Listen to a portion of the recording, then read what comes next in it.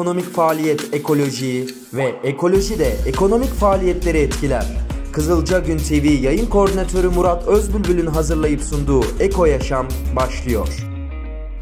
Ee, sevgili Kızılca Gün TV izleyenlerimiz bir Eko Yaşam özel programında da karşılarınızdayız. Bugün konuğum Nüvit Özden. Nüvit Bey Türkiye'de Türkiye'de elektronik ve yazılım sektörünün gelişmesinde çok büyük katkılarda bulunmuş. Özellikle uzaktan eğitim konusunda Türkiye'ye ciddi miktarda teknoloji transferi yapmış. İnternet neredeyse Türkiye'ye geldiğinden beri internetin içinde e, faaliyet gösteren bir iş insanı. Aynı zamanda aydın. E, Nüvit Bey hoş geldiniz. Murat Bey hoş bulduk. Biraz kısa özetledim. Sizin daha birçok özelliğiniz var ama e, şimdi önce şunu söyleyeyim. Ben herhangi bir elektronik cihaz alıp alacağım zaman önce Nüvit Bey'e bakarım. O ne kullanıyorsa ben de onu alırım. Yazılım konusunda da hep ona fikir e, danışırım.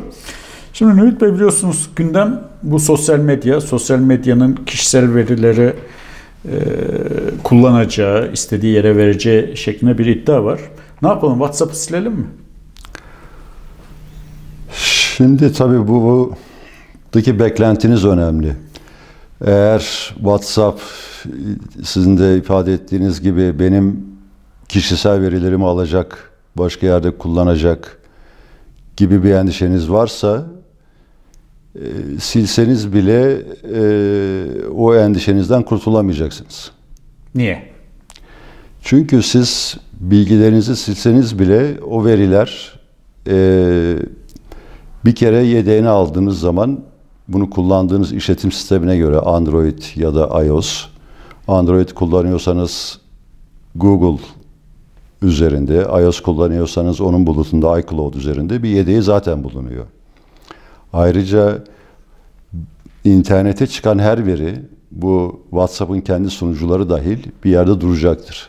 Sadece siz hesabınızı kapatmış olacaksınız. Verileriniz silinmiş olmayacak.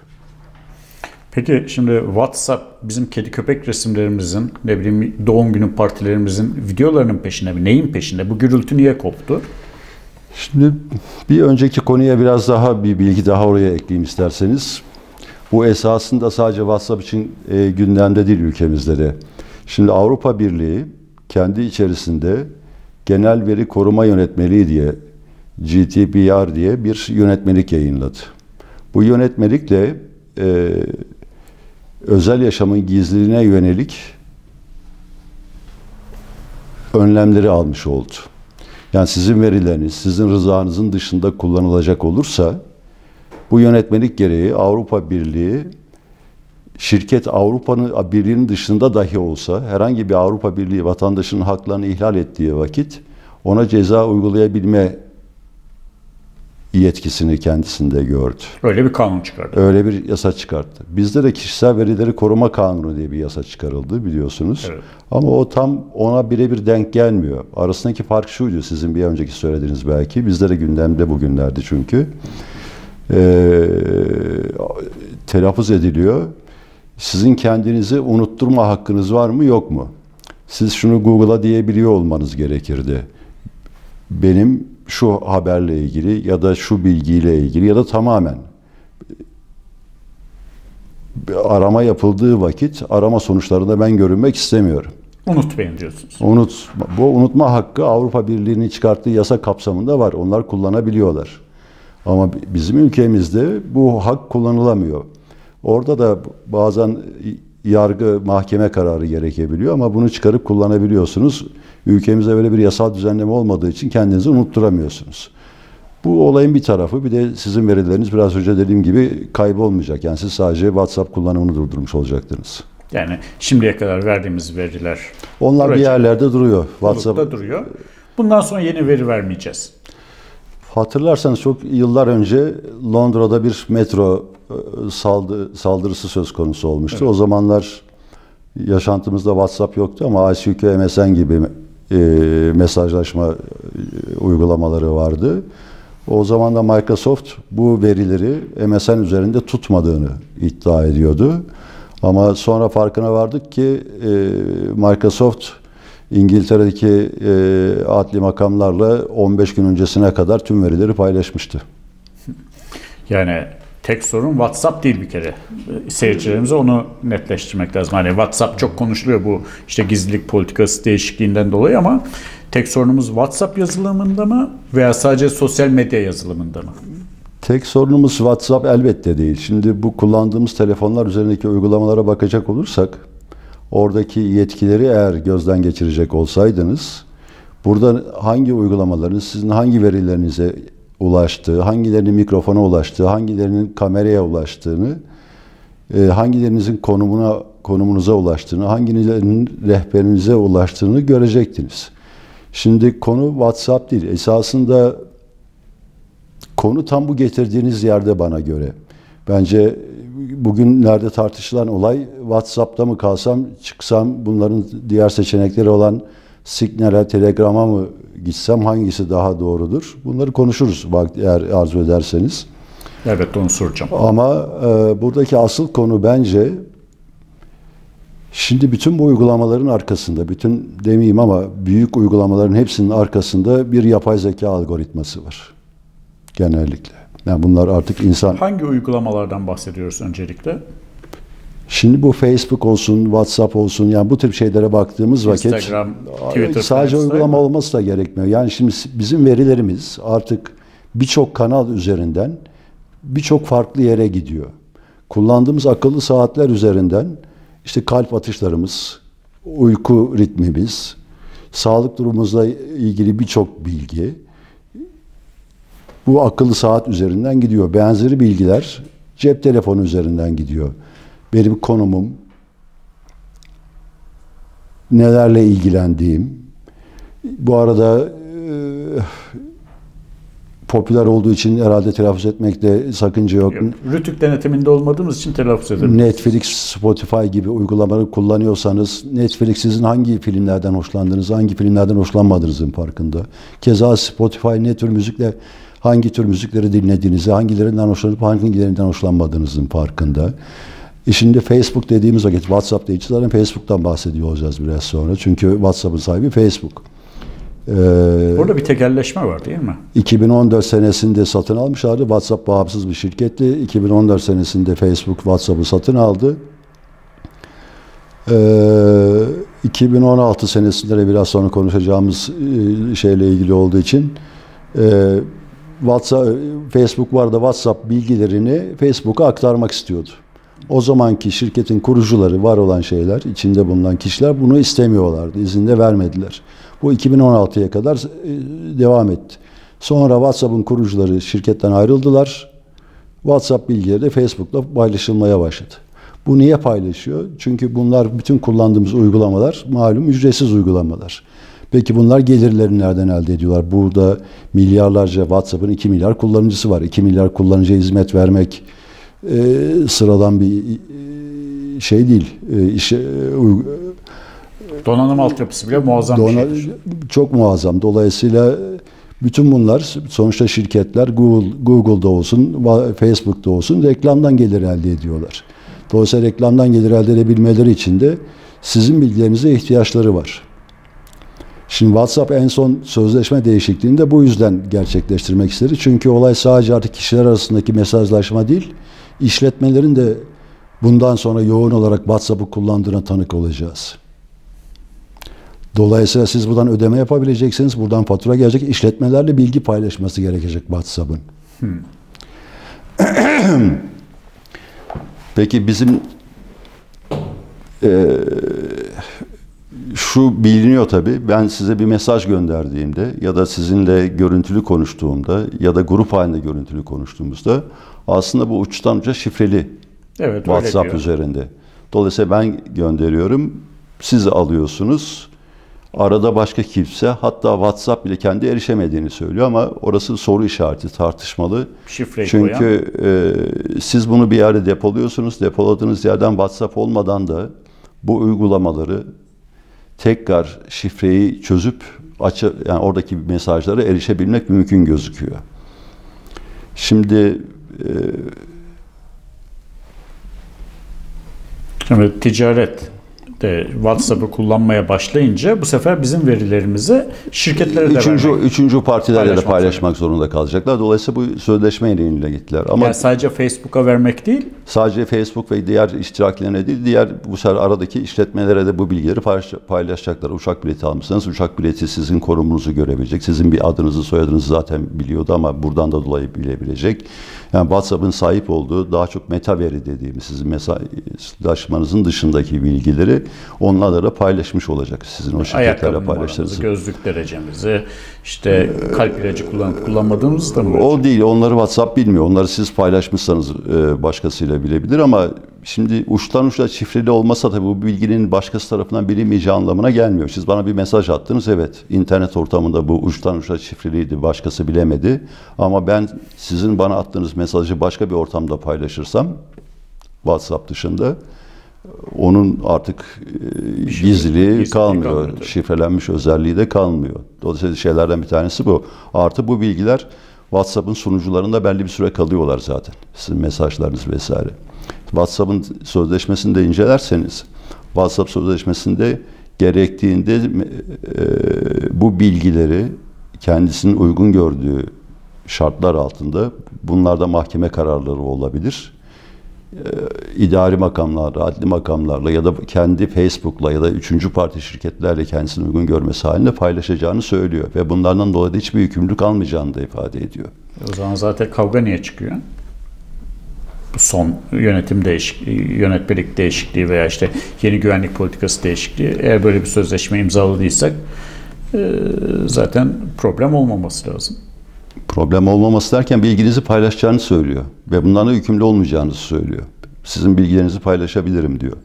Zaten aslında 2016'dan itibaren de paylaşıyordu Facebook'la en azından. Ama buradaki asıl problem şu. Bu sadece WhatsApp'la ilgili değil.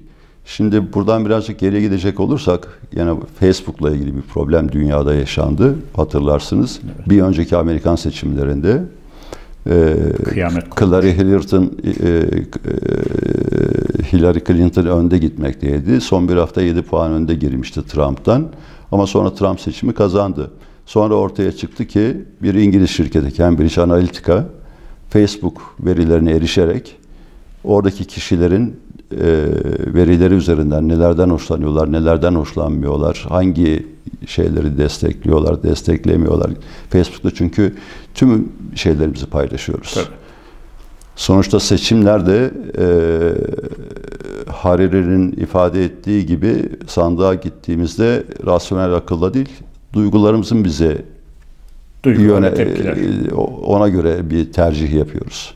Duygularımıza göre bir tercih yapıyoruz. Şunu mu yaptılar yani Hillary Clinton'a oy vereceğini düşündükleri insana Hillary Clinton'ı kötü gösterecek, Trump'a oy vereceklerini düşünmedikleri veya bildikleri insanlara Trump'ı hoş gösterecek paylaşımlar mı gösterdiler? Tam öyle olmasa da ona yakın bir şey oldu. Ee, bu seçimlerde de gördük. Bir evvelki seçimde de öyleydi. Cumhuriyetçilerle demokratların oyları birbirine çok yakın. Ama buna karşın Amerika'da sandığa gitmeyen de belli bir e, nüfus var. Kitle var. Ciddi bir nüfus.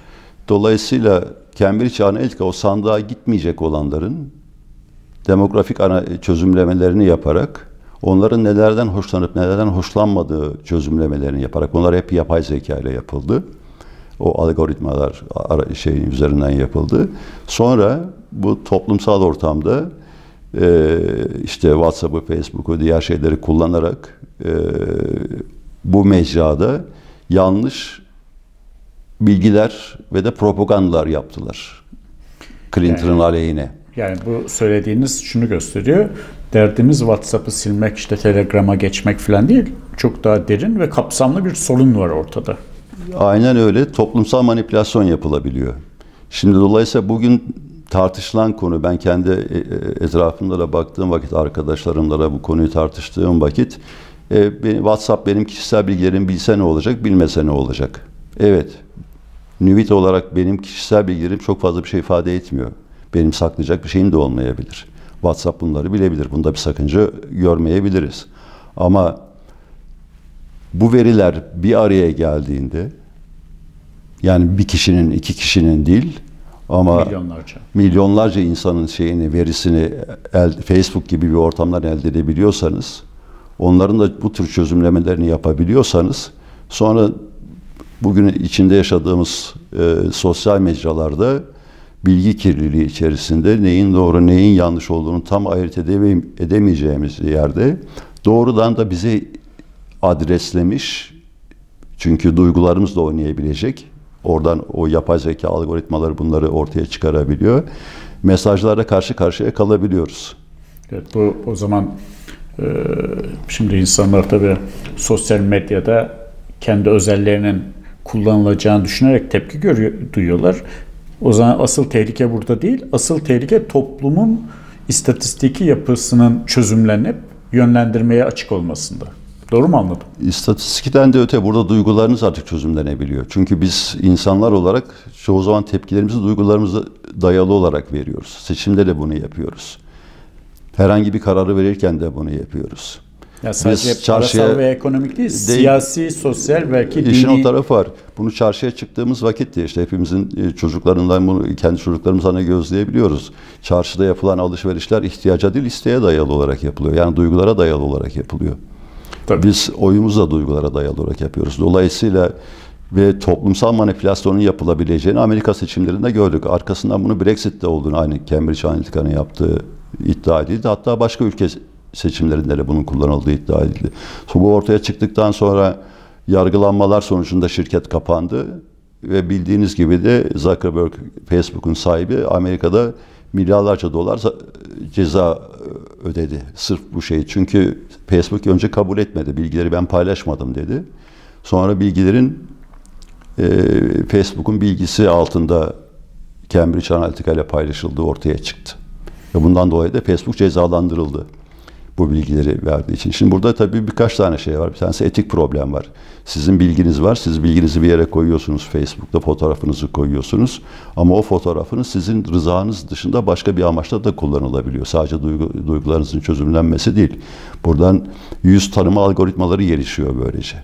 Çünkü veriye ihtiyacı var. Yapay zeka algoritmalarının e, doğru sonuç verebilmesi için binlerce değil milyonlarca şeye ihtiyacı var. Bu yüz tanımadan tutun bir sürü şeye kadar. Benzer şekilde Google'un bir Maven projesi Google çalışanların itirazı yüzünden iptal edildi. Google'ın toplamış olduğu bilgiler sonra Pentagon'da Google'ın yaptığı bir anlaşmada e, başka bir amaç için kullanılacaktı. Valla Google amca beni adım adım takip ediyor. Geliyor böyle bir bakıyorum ben gittiğimi unuttuğum yerlere bu Google'da görüyorum. Siz şuraya gitmişsiniz memnun kaldınız mı diye soruyor bana. E, çünkü ona siz izin veriyorsunuz. E, telefonunuzda konumunuz, konum bilgileriniz açık. Nereye gittiğinizin farkında. Ama dehşet bir şey. Geçenlerde bir arkadaşımın ofisine gittim. Sizde de ortak dostumuz e, Seyit Bey'in ofisine gittim. Seyit Çankaya'nın. Yani o kadar detay konum bilgisi alabilmesi ilginç. Şirketinin ismini verdi. Buradaki hizmetten memnun kaldınız mı diye sordu. Hani bir AVM'ye girersiniz, bir dükkana girersiniz falan anlarım da onu sadece konumla eşleştirebilmiş olması çok enteresan. Şimdi konumda da bir daire yani konum bir şey, konum bir, bir noktadır evet. Şimdi o bir apartman e, gittiğiniz vakit yükseklik bilgisi konumda şeyde e, hem var hem yok yani onu tam o kadar net görememesi lazım ama e, sizin telefon rehberiniz de Google'da kayıtlı olduğu için o apartmanda da Seyit Bey'in bilgisi olduğu için oradan bağlar otomatik olarak kurulabiliyor tabii. İnanılmaz bir şeydi. İnanılmaz bir şeydi. Yani dehşete düştüm. Hani bir mağazaya giriyorsunuz, bir lokantaya giriyorsunuz. Orayı algılaması konum olarak mümkün. Onu sorduğu zaman şaşırmıyorum ama yani bir ofisi algılayarak sorması e, çok enteresan.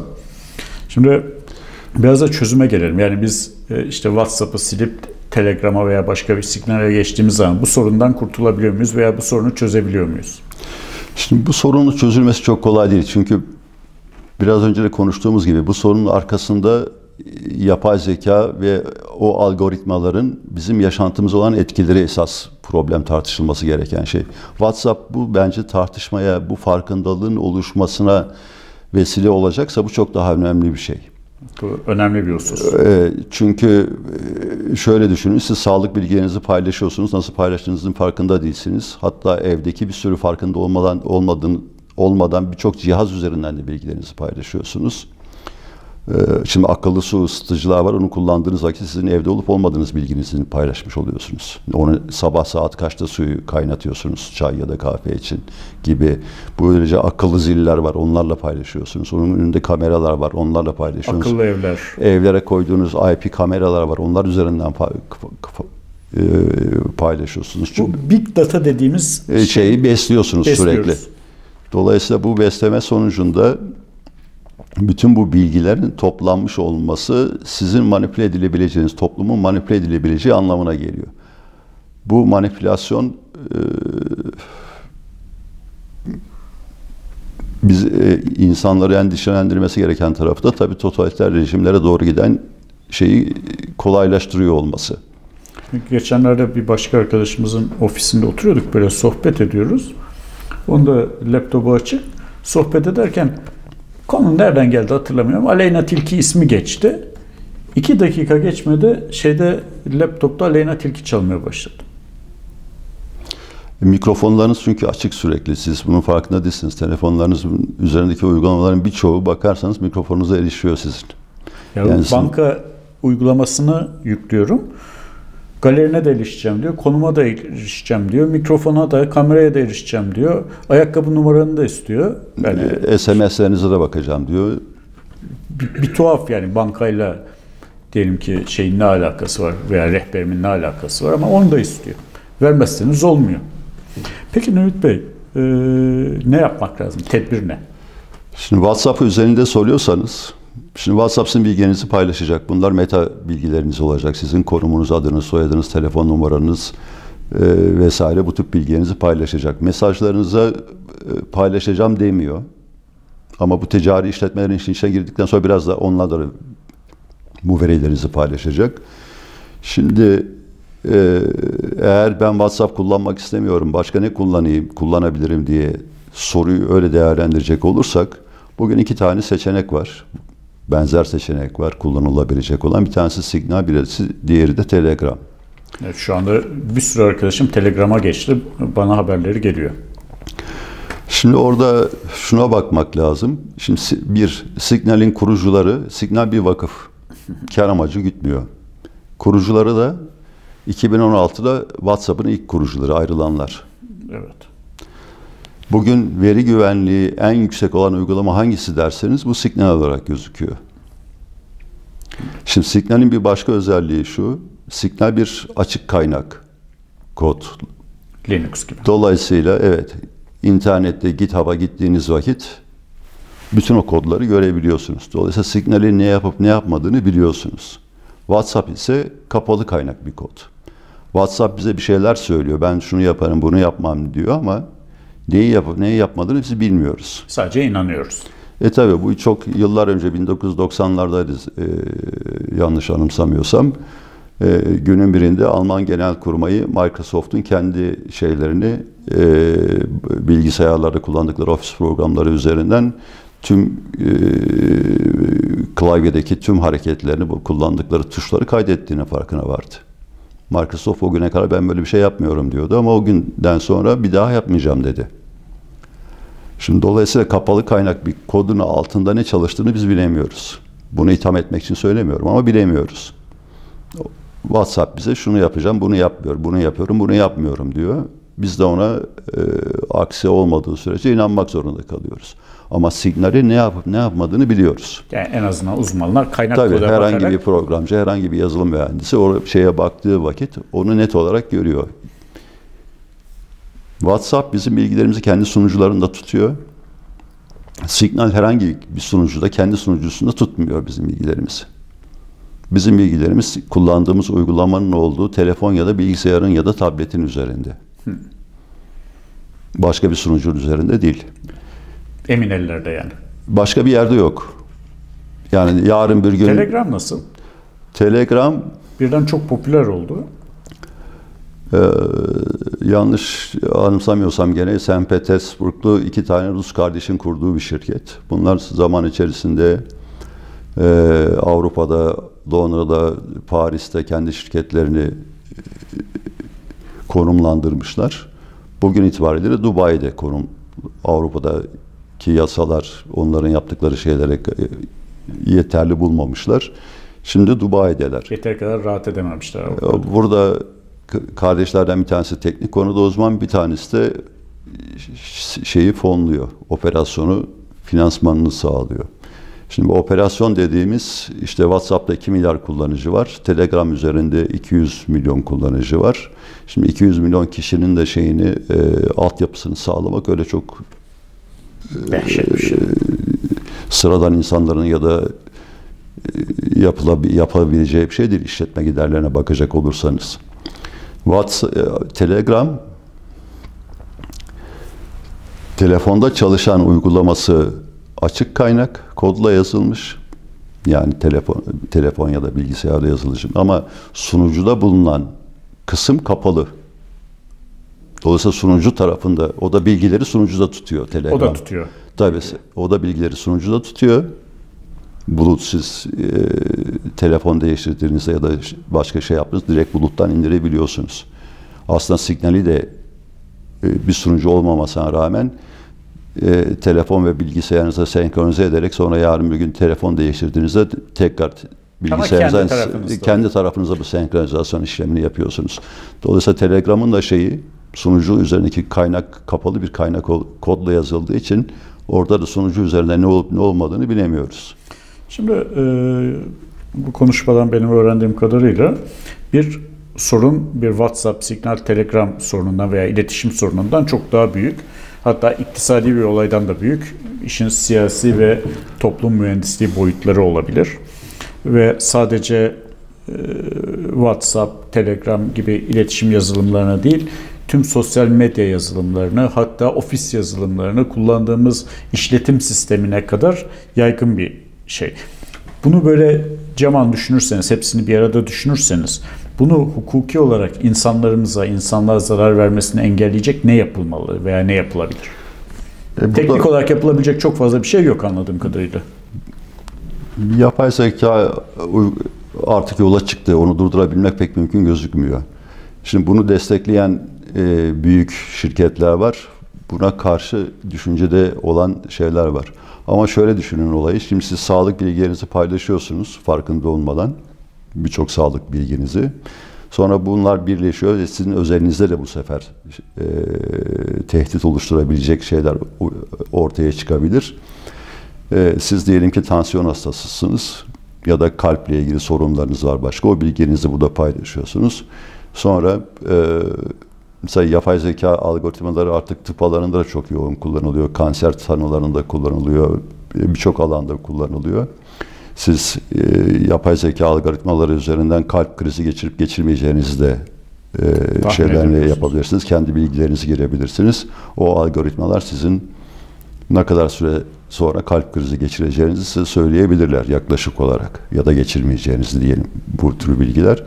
Bunlar size özelken sizin rızanız dışında oldukları yerden başkaları tarafından değerlendirilebilir hale gelmişse siz de diyelim ki bir gün bir iş başvurusunda bulundunuz. İş başvurusunda bulunan kişiler sizle ilgili bilgilere sahip baktılar.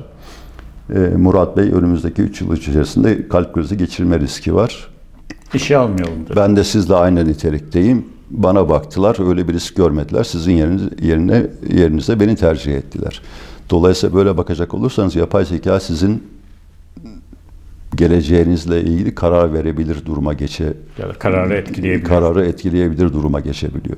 Bunu manipülasyonla yapabilir, doğrudan yani toplumları manipüle için kullanabilirsiniz ya da sizin özelinizde bu doğrudan olabilir. Ki bunlar bugün oluyor zaten. Yani yurt dışında insanlar finansal olarak bankalara kredi için başvuruluyor, başvuruyorlar. Aynı nitelikteki birisine kredi onaylanıyor, birisine kredi onaylanmıyor. Yerine diyor ki bunun bir ayağı çukur da bu parayı geri ödeyemez. Tam öyle değil. Gelirleri aynı, riskleri aynı esasında olması gerekir. Ama yapay zeka algoritmaları bizim yarattığımız veriler üzerinden beslendiği için bizim yarattığımız veriler tamamen yansız değiller. Dolayısıyla yapay zeka algoritmaların sonuçlarında da ön yargılar oluşuyor karar verme süreçleri içerisinde. Bir beyazın zenciye göre örnek olarak söylüyorum. Kredi alabilme olasılığı daha yüksek çıkıyor. Çünkü o diyelim ki zenci daha kötü bir mahallede oturuyorsa, bu daha iyi bir yerde oturuyorsa vesaire falan filan. Yapay zekada da aynı insan gibi ön yargılar oluşabiliyor ve bu da sosyal hayatı hatta kişisel hayatımızı etkileyebilir. Ee, Şu anda oluyor bunlar zaten. Çünkü o yapay zeka bunu kendisi e, kasıtlı olarak yapmıyor. Baktığı veriler bizim İnsanlar ürettiğimiz veriler olunca- olduğu için Tabii. Orada yanlı veriler var.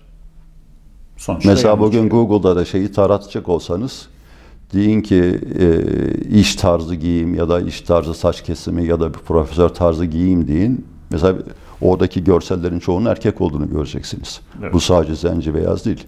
Er- Erkek kadın arasında da ayrımcılıklar bu algoritma sonuçlarına göre ortaya çık- Şimdi çıkmakta. e, o zaman devletlerin asli görevi bireyi ve toplumlarını korumaktır. Bu konuda teknolojiden vazgeçemeyeceğimize göre sizce devletler hukuki ve siyasi olarak ne yapmaları lazım? Bunu yasaklayamayacağımıza göre de artık bu saatten sonra sosyal medyayı yasaklamak diye bir şey de demokratik bir ülkede mümkün değil. Şimdi Ne gün- güncel olarak bu konuda biraz önce bahsettiğimiz Avrupa Birliği içerisinde e, genel verileri koruma yönetmeliği kapsamında özel yaşamın gizliliğini korumayla ilgili benim rızam olmadan verilerimin paylaşılmamasına yönelik ciddi şeyler var orada. Yasa bazında öngörülmüş.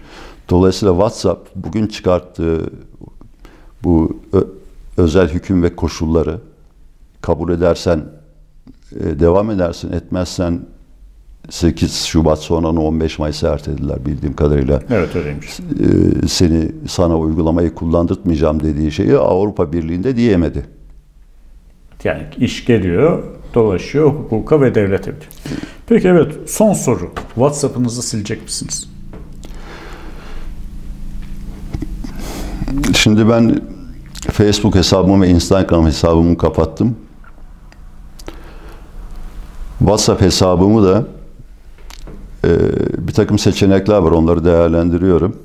WhatsApp hesabımı kapattıktan sonra geçmişindeki mesajlarıma erişebilecek uygun uygulamanın hangisi olduğuna karar verdikten sonra WhatsApp hesabımı da kapatacağım. O zaman siz Zuckerberg'in e, ikliminden çıkıyorsunuz tamamen. Bu bizi sorduğunuz gibi kurtarmaya olabilir. Ama bir önceki sorunuza da geri gidecek olsak bu sadece devletlerden beklemek gerekmiyor bunu. Bunun toplumların bu reaksiyonu vermesi gerekiyor. Eğer insanlar toplu halde bu reaksiyonu verebilirlerse o zaman işte sizin veri ihlalleriniz, yani büyük şirketlerin halen yapmakta olduğu, sizin rızanız olmadan bu verileri kullanarak bunu hem toplumsal manipülasyon hem sizin geleceğinizle ilgili kararların oluşmasına neden olabilecek uygulamaları yapmakta bu kadar özgür olmayacaklar. Şu anda bu şirketler canlarını isterse onları yapıyorlar. Avrupa Birliği'nde evet bir yasa var. Dünyanın bel bazı ülkelerinde bazı yasalar var. Amerika'nın ba- bazı eyaletlerinde bazı yasalar var ama bu genel bir şey altında değil. Şu anda serbest bir alan var. İsteyen neredeyse istediğini yapabiliyor gibi bir şeyde yaşıyoruz. Ancak buna toplum reaksiyon gösterirse O zaman yapamazlar. o zaman e, şey olabilir. E, burada genel olarak baktığımız vakitte bu Google olsun, Facebook olsun, Amazon olsun, Microsoft olsun, IBM olsun, bütün bu büyük şirketler yapay zekanın gelişmesi doğrultusunda e, ciddi adımlar atıyorlar. Buna karşıt görüşler sizin de bildiğiniz gibi e, Stephen Hawking'den başlamıştı. Yapay zeka insanlık için tehdittir, insanlığın sonunu dahi getirebilir söylemleri vardı. Buna benzer görüşler Elon Musk tarafından ifade edilmişti. Elon Musk'ın bu yüzden kurduğu bir tane vakıf var, OpenAI diye. Ee, burada Elon Musk farklı bir e, görev üstlendiğini ifade ediyor. E, yapay zekanın tehdidine karşı insanlığı korumaya yönelik bir takım çalışmalar yap, geliştirdiğini iddia ediyor. Bu vakfın geliştirdiği bir GPT-3 diye bu yakın zamanda çok popüler oldu. Bir yapay zeka algoritması kullanılıyor. Ee, bu yapay zeka algoritmasını kullananlar dehşete düşüyorlar. Herkes kullanamıyor mu izin o şeye izin alabilenler? Ee, incelenmesi gereken bir şey. Orada baktığınız vakit e, şiir yazmaktan, kod yazmaktan kendi kendine. Şöyle yapalım mı? bir programda da size yapay zekayı konuşalım mı? Hay hay. Yani yapay zeka üzerine Nüvit Bey'in ne kadar uzun süredir çalıştığını ve bilgi sahibi olduğunu biliyorum. Ama o apayrı bir konu. Eklemek istediğiniz son bir cümle yok var mı? E, teşekkür ederim. Bana bu fırsatı verdiğiniz için umarım faydalı olmuştur. Ben faydalandım. Ee, Kızılca Gün TV izleyicilerinin de çok faydalanacağına ve beğeneceğine eminim. Efendim bizi izlediğiniz için teşekkür ederiz. Lütfen abone olmayı unutmayınız. Bir dahaki programda görüşmek üzere.